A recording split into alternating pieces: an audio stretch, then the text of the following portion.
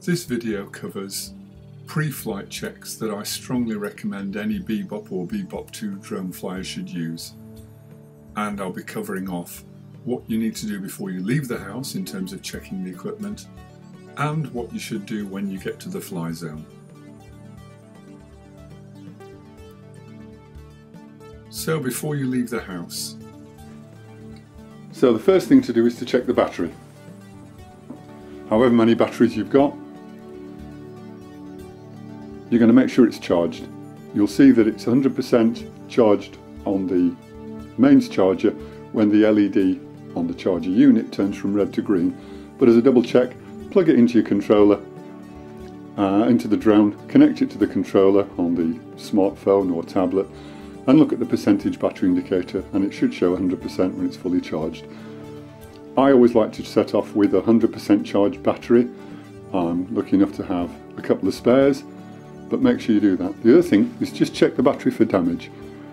If there are any cracks around the connector unit there, or the areas where it grips onto the drone, there is that risk that it could come detached during flight and you've lost your drone.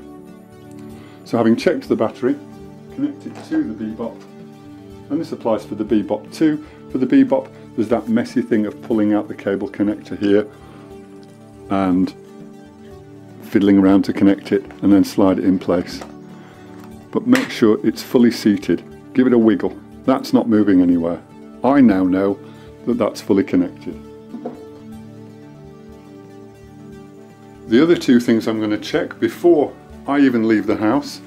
One, lens cap off and check that the lens of the Bebop's not scratched and check that it's not covered in crud, dust, mud or whatever from the last flight.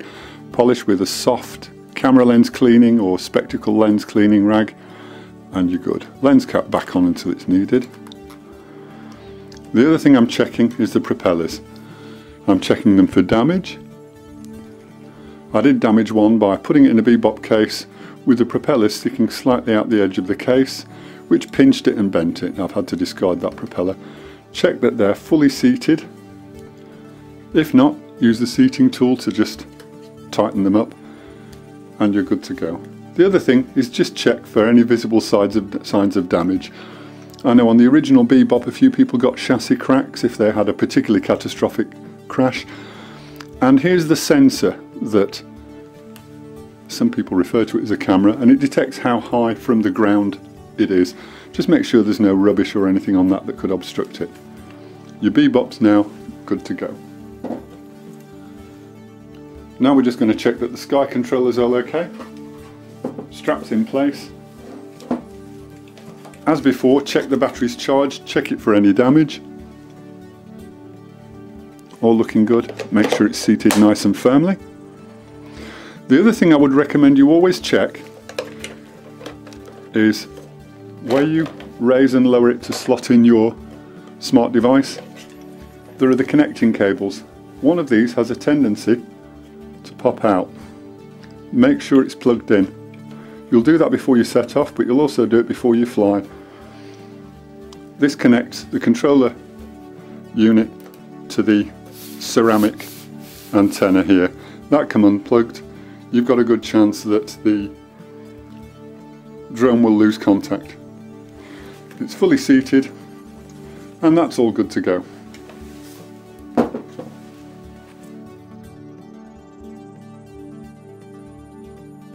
So in this case I've connected the Sky controller by Wi-Fi to my iPad. It could just as easily be my iPhone or an Android phone or a tablet. The menu is the three horizontal dashes at the top left and the first thing I'm going to do is go into settings. This gives me the option for preloading. So for map preloading, this is very handy if your device is not 3G or 4G enabled. So I have a Wi-Fi only iPad. So while I'm out and about, um, it doesn't have internet connectivity to download map data. So I click on map preloading and zoom in onto the area that I want to look at. So let me just have a look at North Wales. Let's have a look at Llandudno, where I flew recently. And I was flying from the cliffs here to look over at the pier. So it's saying ready and I click on preload.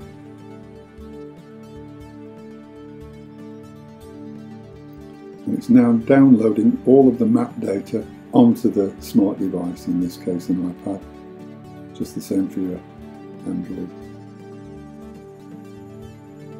That's now done. So the first thing I want to do is to calibrate the Sky controller. You don't need to do this if you're just using the smartphone or tablet. If you are using the Sky controller, I happen to have called mine Sky Controller Noir, I press the calibrate button and it asks me to move the Sky controller around as shown in the screen. And as I do so, progress bars turn yellow and against each axis they turn green. Once they're fully green, the Sky controller is calibrated.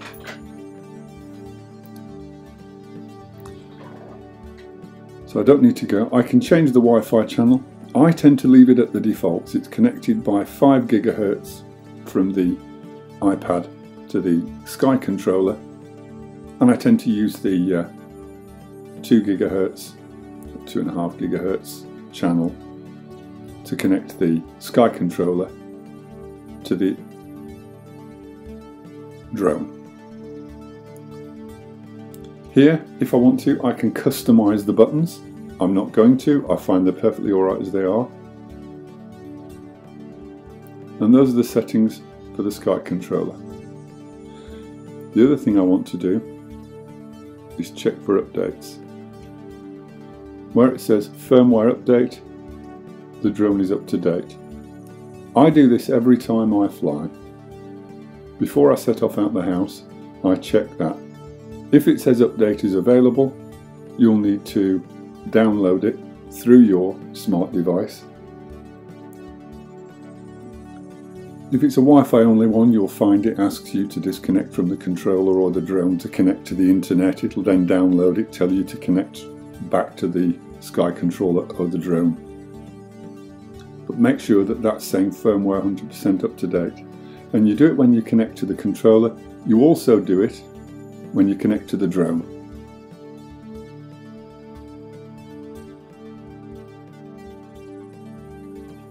So having switched on the drone, it should become visible in Wi-Fi Manager. So now I go back into check for updates and it's telling me that the drone is up to date so I don't need to download any firmware updates. I also check internal memory and I've already transferred these three videos so I'm going to delete them. If I haven't already I would select the ones I haven't transferred individually or click the top box to select all and then either transfer if you haven't already or delete if you have. I'm going to delete. This is simply so that I don't set off, start trying to record and then find out that the internal memory is full. So now I'm going to go into settings and check that the drone's all fine. Back to Sky Controller settings, I've already calibrated it. And here's the critical thing. It's currently looking for a GPS signal. I will not fly without that. It's telling me that the drone is calibrated. And here I can check the pilot settings. Maximum inclination. That governs the speed at which the drone flies. So when you're flying forward, the greater the angle at which it's tipped forward, the faster it will fly in that direction. If you want very nice lingering scenic shots, scenic shots, you may want to slow it down. It will not travel very quickly. Set it to 35 degrees and the thing will whiz along at maximum speed. For most flights, about 50%, 17%. And the inclination speed is the speed at which it changes angle. So the slowest it can move is 80 degrees a second. That means it will take one second to go from where it is to its maximum inclination speed. There it will be really whippy. So if you are doing something like trying to follow a fast moving speedboat or a sports car or something that's moving quickly, even wildlife if you're that brave, you'll need to set the maximum inclination speed and the maximum inclination. So not only can it move quickly, it can change direction quickly. Again, about 50% is standard for most flights. There's the maximum altitude. I never go above 100 meters. You can go up to about 111 meters, 112 meters in the UK, providing it's safe. Any higher than that and you're above the 400 feet. And the maximum distance, how far away it will fly. And what that means is if I set it to 49 meters, it will not fly further away from me than that. As soon as it get that, gets that far, it will not move any further away. You'll get a beeping on your smartphone or your Sky controller to tell you that it's at maximum distance. This is handy if you're flying where you're, say, 200 metres from a motorway or a bridge or telegraph wires or tall trees that you want to avoid, but you're in a safe place a good distance away. As I'm using a Sky controller, I know I'm good for up to a kilometre providing it's unbroken line of sight. But those are my default positions, around about 80-90 metres at maximum altitude and around about half a kilometre maximum distance. The maximum vertical speed is how quickly it climbs and falls. So that it will climb or descend at 6 metres a second. Again, I tend to have it about half if I'm feeling uh, filming really scenic shots, I'll make sure it can't zip up and down. It's nice and gentle movement, which is for better photography. Maximum rotation speed is how fast it will rotate. So panning from left to right. And again, if you're filming beautiful scenery and you don't want the camera whipping round, you'll set it quite slow. If on the other hand, you're filming moving objects, you might want it faster. Again, for most things, about half. Banked turn is relatively self-explanatory. Some people have had problems with a banked turn. I never use it. I did try it out, but I find that it uh, doesn't really enhance the filming or the flying. Really, all I think it does is it makes it look a bit cooler when it's flying. Calibrate is something that, even if it says it doesn't need calibrating, I tend to do it every flight anyway, just to be safe and flat trim. That tells the camera what horizontal looks like. So if you place your drone on uh, an uneven surface to take off, which you would try and avoid, but if the drone is lying on a slope left to right, you'll find that as you fly the horizon is at an angle. So flat trim, set it on a flat surface, set flat trim, and you'll tell the drone what horizontal looks like. Then if you put it on a slightly uneven surface, it will know it's on an uneven surface and compensate in filming. By default, you will probably have it on video mode, and I'm not going to go into the details. If you're just taking photographs, you go into photo mode, and you can take it in RAW, JPEG, or a 180 degree fisheye JPEG. I have it by default set at JPEG, but by default it's usually in video mode. I'm not going to go into the details on this video, I'll cover that off some other time. Image settings. You have it on the light bulb if you're using artificial light. On a sunny day you'll have it on that. On a cloudy day you'd have it on the picture of the cloud. And for flash photography or uh, flickering light, you'd have it on that. It's possible to set the contrast using the slider, and it's possible to set the brightness using the slider. Again, the only adjustment I ever make on this is if it's a sunny day, I'll press the sun icon and leave it at that. If it's cloudy, press the cloud.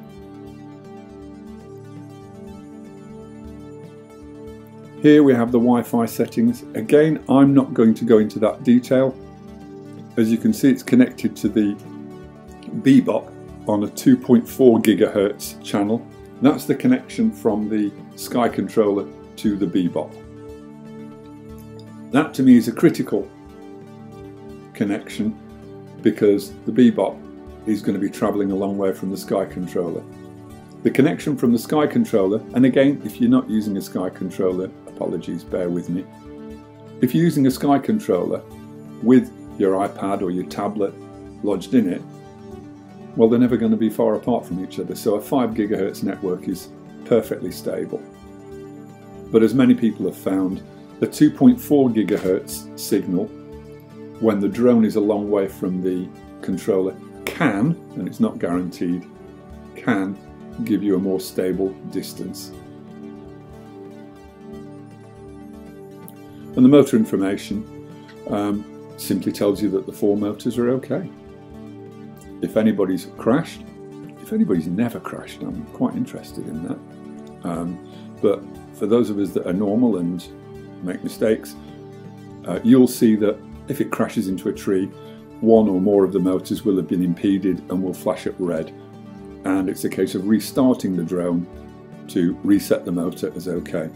If that doesn't work, you have probably damaged a motor and are in the business of scouring eBay for a replacement motor. Or of course, buying one from the official Bebop site. And this is telling me the versions. That Free Flight 3 is on version 3.9.23, the Bebop's on version 3.3, and the GPS is on 2.01, and the hardware is on version 2. I happen to know that those are up to date, but as I said earlier, regularly checking on your menu, check for updates, just to be sure. So having done those checks, you're now at the fly zone and the most important thing is to check that your surroundings are safe for you, for other people and for your drone. Flying close to airfields and airports is a no-no, but also think about the flight paths. You may be a long way from an airport, but you might be near where there are low-flying aircraft. And don't forget about model aircraft, radio-controlled aircraft and other drones. Overhead power lines, telephone lines, love to eat up drones and spit them down to the ground, so keep an eye for those across your whole flight path. Obviously trees, giraffes are a big problem here in the UK, and mutated lizards. But the biggest thing to check before you fly is that your GPS signal is strong, green on the controller, and make sure that it knows where to return home if it gets lost. Without that signal, your drone could fly off into the distance, never to be seen again. Thanks for watching, hope you enjoyed it. Please press like, and if you haven't already, subscribe to the channel. Happy flying!